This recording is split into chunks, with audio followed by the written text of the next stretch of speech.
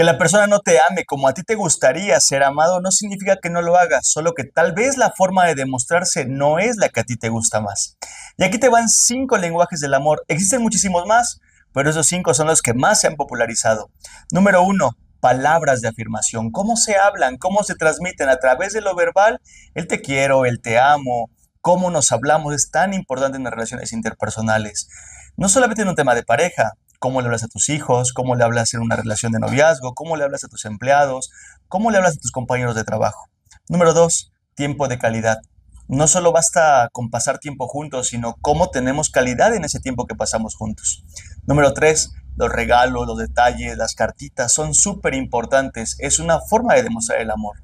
Número cuatro, los actos de servicio. Qué tan disponibles y dispuestos nos mostramos para las personas. Y número cinco, el contacto físico. Siempre es importante el contacto físico. Cuánto y cómo se abrazan, cómo se demuestran el cariño a través de las palmas de las manos, del abrazo, del beso, de la caricia.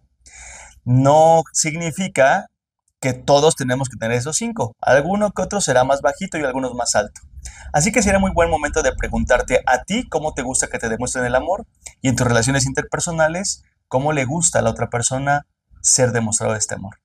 Yo soy Rubén Juárez, aquí en Poder Noticia.